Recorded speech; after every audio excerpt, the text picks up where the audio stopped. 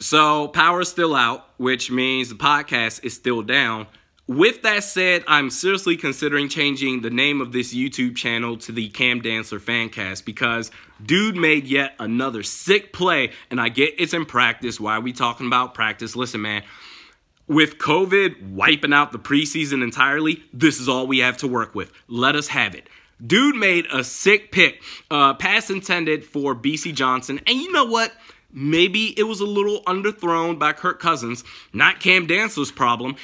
And what I really like about this player, what he brings to the table talent wise, is contrast to Xavier Rhodes, peak Xavier Rhodes, 2016, arguably the best corner in the league. 2017, definitely the best corner in the league relied on his size and his strength to basically jam dudes up at the line of scrimmage, to legally battle his man, to fight tooth and nail within those limited yards where you're legally able to do it before you have to let the hands up and let your receiver go basically forcing his man to stop and go, stop and go, throw his man off his route. So that sweet spot that the quarterback and the receiver were working on in practice, it's not there because the quarterback wants to throw here, but the receiver is still over here. Xavier Rhodes, he's staying in front of his man to make a play on the ball.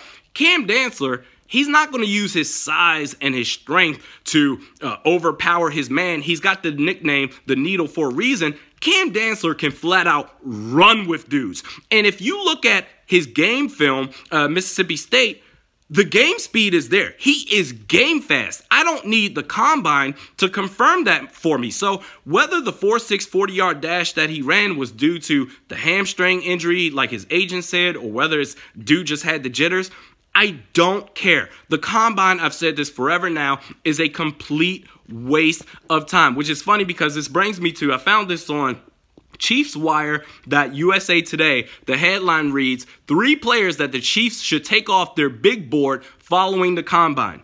Number three on their list Mississippi State cornerback Cam Dantzler. Quote, I know there are some folks out there that won't agree with me, but I wouldn't draft Dantzler after his combine performance. He ran a 4.64 40 yard dash, and there's plenty of data. You know how much I hate that word. There's plenty of data to suggest that he'd need to be an outlier to find success in the NFL with that mark.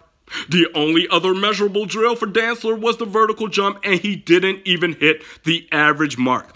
Go back to that interception he made today. Dude had bounced for days, much like Anthony Harris. And if you take a screenshot, a still shot of the high point of that jump, I swear to God, you could park a car underneath of Cam Dantzler. How's this vertical on that play there, ChiefsWire.USA today?